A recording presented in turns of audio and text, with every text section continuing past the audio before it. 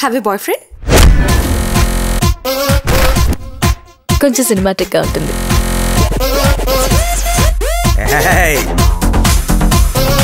ఒక చెంప మీద కొడితే ఇంకో చెంప చూపించమన్నాడు పెద్ద ఆయన.